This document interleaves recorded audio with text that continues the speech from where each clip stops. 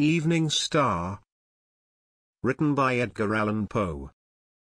'Twas noontide of summer, and midtime of night, and stars, in their orbits, shone pale, through the light of the brighter, cold moon, amid planets her slaves, herself in the heavens, her beam on the waves. I gazed a while on her cold smile, too cold, too cold for me.